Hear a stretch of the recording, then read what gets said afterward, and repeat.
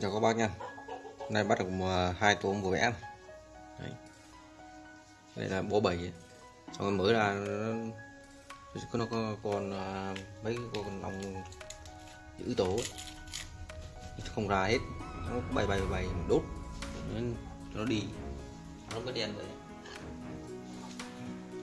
Giờ mình đặt cái nhộng vào đây.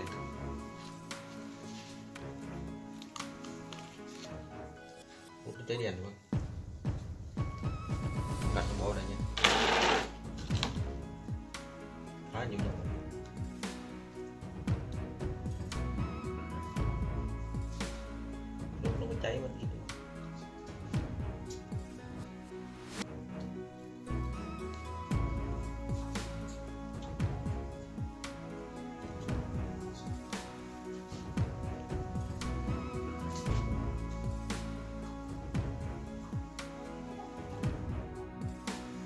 Rồi như vậy đã xong.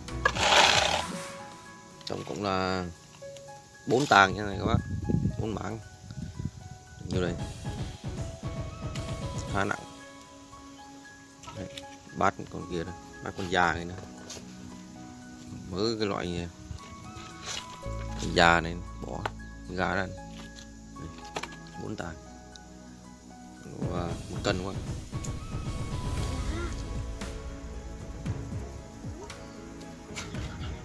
Rồi mình sẽ đi mang đi uh, sơ chế và xử lý món uh, món gì cho ngon. Các bác nhỉ?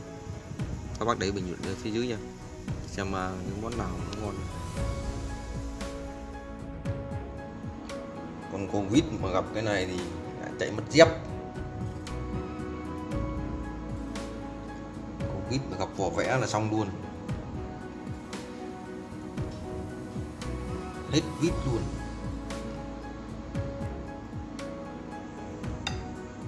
Khoảng độ ờ, bình cân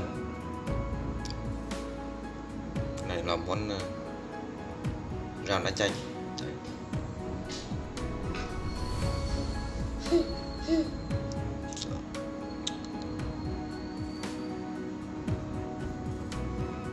Ủa nhìn cô ngợ Em chạy nước dép luôn